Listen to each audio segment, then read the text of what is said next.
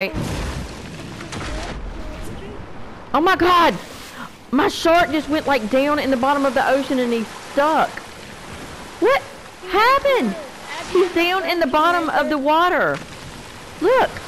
He went in the sand and he's stuck underneath the dirt. What are you doing? Oh my god! What is going on? Ah! Hello, Jerky. I found the mystic